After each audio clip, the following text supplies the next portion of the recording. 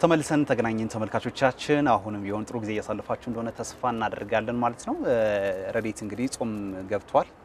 ጾም ይዘሻላል? ማንን ለመፈተን?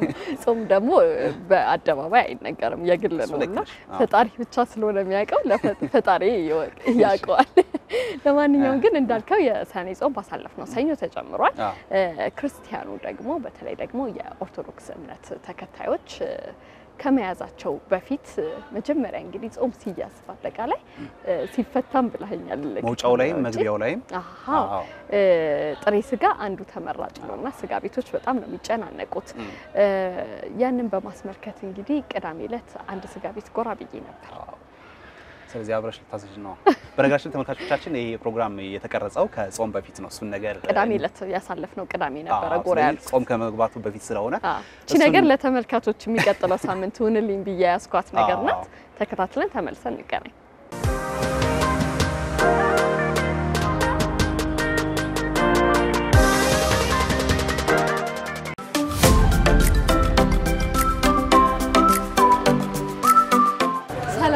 እንዴት ነሽ? ሰላም ነው፣ እግዚአብሔር ይመስገን። አለን በጣም ከባድ የስራ ቦታ ላይ ነው የመጣሁት። አዎ፣ ያው ተዘጋጅተን እየጠበቅን ነው። ተዘጋጅታችኋል? ደስ ይላል ድባቡ፣ የቤቱ ድባብ በጣም ደስ ይላል። ደስ ይላል። መጀመሪያ ግን ራስን ከማስተዋወቅ እንጀምር ለተመልካቾች። ፍቅሬ እባላለሁ ወይም ፍቅሬ ኩንስፓኛ የድርጅቱ ባለቤት ነኝ።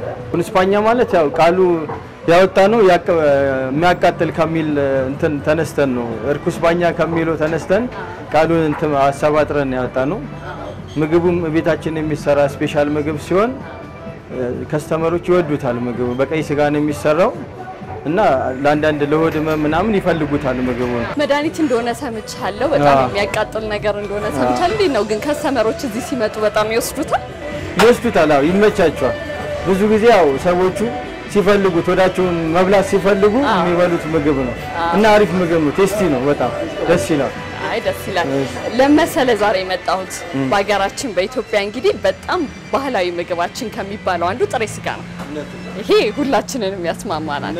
እኔ ጥሬ ስጋ በል አይደለሁም ግን ብዙ ጥሬ ስጋ የሚበሉ ጓደኞች አሉኝ እና በጣም ብዙ አይነት የስጋ አይነት ይጠሩልኛል። ግን የትኛው እንደሆነ አብዛኛው ሰው አያውቀውም። አሁን ለምሳሌ ዳቢት እንዳለ አውቃለሁ፣ ነብሮ ይባላል፣ ከሙሽራ ይባላል። ከምን ልጀምርልሽ መሰለሽ? ይሄ ዘርፍ ይባላል ሲበላም በጣም ጣፋጭ ነው። ግን ትንሽ ይህንን ሲያኝኩት እንትን ነው። ብዙ መታኘክ አለበት taste ኡን ለማወቅ ማለት ነው። ትንሽ ጥርስ ላይ ያዝ ይላል። ስጋው በጣም ጣፋጭ ነው፣ ተመራጭ ነው፣ አሪፍ ነው። የምልሽ እንትን ከሆነ ማለት ሌላው ዳቢት የሚባለውን ላሳይሽ፣ በብዛት customer ኦች የሚፈልጉትም ማለት ነው።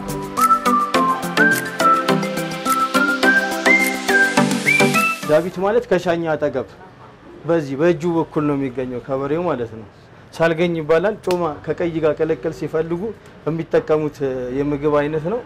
ሌላው ደግሞ ታላቅ ይባላል። ለክትፎም እንጠቀመዋለን፣ ለጥብስም ለጥሬም እንጠቀመዋለን። ሲጠቁር ማለት ነው። ያው እንደ በሬው ብስለት ነው ይህን ለጥሬ የምንጠቀመው እንጂ ለወጥም ለጥብስም ለሁሉም ነገር ይሆናል። ለክትፎ ሌላው ፍሌቱ ነው።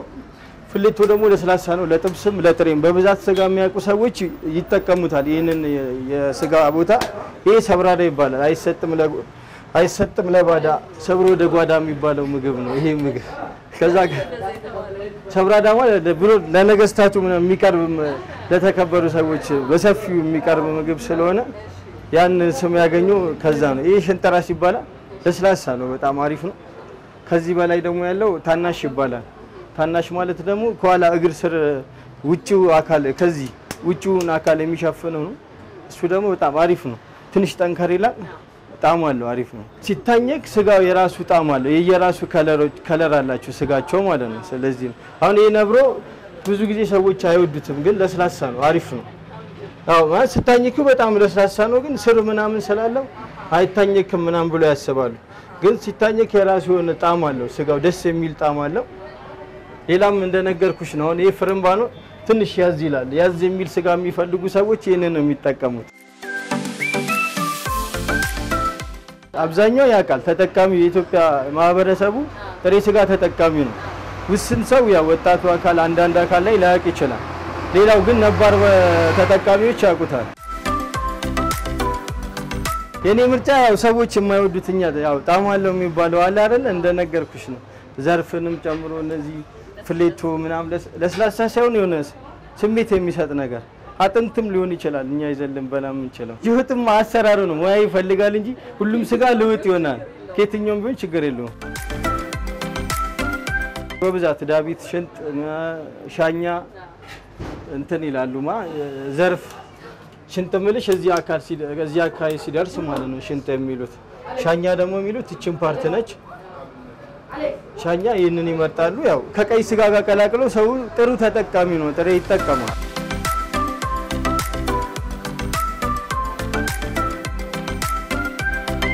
ብልሽ ያው ከጤና ብለሽ የምገድቢው ነገር አለ። የኢትዮጵያ የ- የተፈጥሯዊ ባህላዊ ምግብ ስለሆነ ከክርስቶስ ልደት በፊት ነው ጥሬ ስጋ እንደተጀመረ የሚታመነው። በሰሜኑ ክፍል ነው። ያ በዛ ሰዓት ለጦር ሲሄዱ ሰዓት ላለመግደል ምናምን ወይ ሲያጨሱ ምናምን አደጋ እንዳይደርስባቸው ከመነሳት የተጀመረ ነው። ግን አሁን ኢትዮጵያ ባህላዊ ምግብ ነው። አርጀንቲና ብትሄጂ እኛ ማንበላውን ወይ ፈረስ ምናምን ሲበሉ ልታገኝ ትቻለሽ። ኢትዮጵያ ውስጥ ደግሞ ጥሬ ስጋ ግድ ይበላል። አይበላ ብትይ ደግሞ የማይሆን ነገር ነው። ጥሬ ስጋ ምን አለ መሰለሽ፣ ጥሬ ስጋ ተመጋቢዎች ሊገነዘቡት የሚገባው ነገር ጥሬ ስጋ በፍቅርና በእንትን ነው የምትበዩ። ስጋዎቹ እያንዳንዳቸው የየራሳቸው ጣዕም አላቸው እና ከለሩን በማየት ደግሞ የምትገምችው ነገር አይደለም። ስትበዩና እዚህ ተሰቅለው የምታየው ይለያያል። ያንን አስተያየቱ ያው እንዲጠቀሙ ነው እኔ ብዙ ጊዜ customer ኦችን የምመክረው። ብዙ ጊዜ ለዓይን የማያምረው ስጋ በሬው ሳር ከበላ ረጅም ጊዜ የበላ ነገር ከሆነ በጣም አሪፍ ነው። ስለዚህ እሱን ነገር ለይተው ይሄ የእያንዳንዱ part አሁን ነብሮ የምትዩን part ያልኩሽን እንትን ቢሉት ሊያንቅ ይችላል። አንቆት አንድ ሰው ሊሞት ይችላል። እንዴት ነው ማ ቶሎ ቶሎ ገልበጥ ገልበጥ አድርጎ ጣዕሙን ብቻ ካገኘ በኋላ እንትን መዋጥ ነው ያለበት።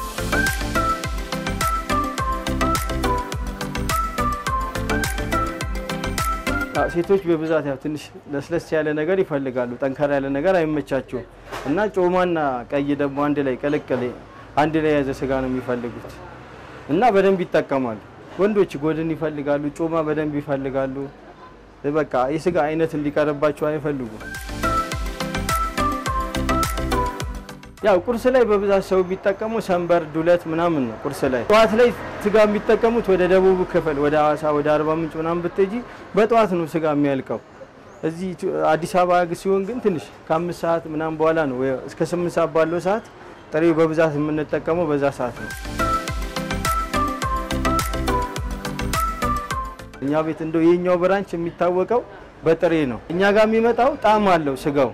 ብዙ ጊዜ ሳር የበላ ከብት ምናምን ነው የምንጠቀመው እና ጣዕሙን ይወዱታል እኛ ጋር የሚጠቀሙ ደንበኞች። ሌላ ደግሞ ስለኛ በጎነት እነሱ ቢመሰክሩ እመርጣለሁ። መጥፎውን ለእኛ ቢነግሩን፣ ጥሩን ደግሞ እነሱ ለጓደኞቻቸው ቢነግሩን ደስ ይለናል። ግን ያው ጣዕሙን ፈልገው ነው የሚመጣው። ሌላ ቦታ ሄጄ ያው አልጠቀም ይህን ነገር ለመንገር እኔ ጋር ግን ያው የተሻለ ነው ምልሽ እነሱ በከፈሉት ልክ ለመስጠት ነው የምለፈው የምታገለው። ታማኝነት ለራስ ነው። ገንዘቡ እስከከፈለ ድረስ ማግኘት ያለበትን ማግኘት አለበት እንጂ ከኪሎ ምንም እንትን ያው ንጽህና ለራስ ነው። የሚበላ ነገር እንደመሆኑ መጠን ንጽህና ሊኖረው ያስፈልጋል። መጀመሪያ ምግብ ነው ምግብ ነው። ቤቱ መጽዳት አለበት። ሰራተኛው ንጽህናው መጠበቅ አለበት። ሲታረድ ጀምሮ እዛ ከቄራ ጀምሮ ፕሮሰስን ጠብቆ ስለሚመጣ እዚህ ደግሞ እኛ ጋር ሲደርስ ደግሞ የተሻለ ነገር አድርገን ካላዘጋጀን የሰውም ፍላጎቱን እየዘጋ ነው ነው የምንሄደው። ንጽህና ግድ ነው፣ ለራስ ነው። ግን አሁን ያሉት ስጋ ቤት ሁሉም እየተሻሻለ ነው፣ እየተረዳ ጊዜውም እየመሰለ ነው።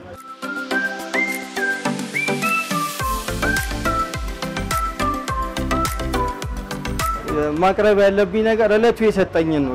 አዎ፣ በእለቱ የገባው ካለ ነገር ጥሩ ነገር ቤቱ ላይ ጣፋጭ ነው ብዬ ያሰብኩትን አስተናግደዋለሁ። ደስ ብሎት ይሄዳል። ከዛ አንጻር ነው ዋጋው ሚስጥራዊ ነው። ለምን መሰለሽ? አመኔታ ያጣል። አመኔታ ስለሚያጣ እንትን ምልሽ ያው ጥሩ ነገር ሳር የበላውን ጥሩ በእንክብካቤ ያደገውን ገዝተን እንመጣለን።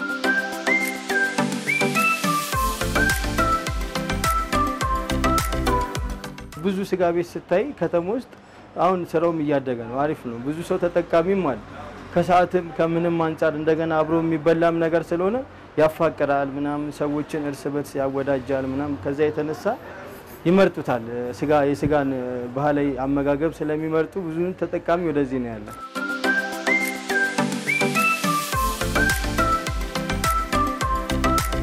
ማለት የምፈልገው ነገር ለደንበኞቻችን ያው ክብረት ይስጥልን ነው የምንለው። እነሱ ባይመጡ እኛ አንሰራም። ሌላው ደግሞ እናንተም እዚህ መታችሁ ቃለ መጠይቅ ስላደረጋችሁልን እናመሰግናለን።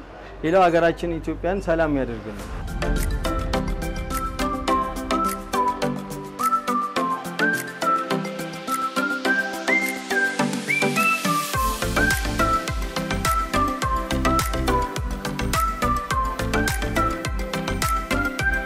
ይኸው የቀረበው ምግብ ይሄ ነው። ቅድም ያልኩሽ እነዚህ የስጋ አይነቶች ናቸው። ይሄኛው ደግሞ የቤቱ special ነው። ኩንስፓኛ ያልኩሽ ቤቱ የሚታወቅበት ነው። እነዚህ ማባያዎች ናቸው። የሰናፍጭ ትንሽ ጉንፋን ነገር፣ አፍንጫ መዘጋት ምናምን ነገር ካለ በዚህ ቤት በይ የመከፈት ነገር ምናምን አለ። ይሄ ሰናፍጭና አዋዜው በርበሬው አንድ ላይ የሚሰራ ነው። ሌላ አልኮል ነገር ምናምን አይገባም። ለምን የተለያየ ሃይማኖት ያለው ሰው ስለሚጠቀም ያን ነገር ስለማይገባ፣ በፍላጎት ግን special አዋዜ በአልኮል በ aperitif ምናምን ይሰራል። ሌላው ይሄ አሞት ነው። አሞት ደግሞ ለማባያነት ብዙ ሰዎች ይፈልጉታል። በተለይ ከአርባ ምናምን በላይ ያሉ ሰዎች የአሞትን ጥቅም በጣም ነው የሚያውቁት። ስጋ ያባላል። እየበላሽ የሆነ የጠገብሽ አይመስልሽም እና ብዙ አሪፍ ነው ለማባያነት ስጋ ያገለግላል።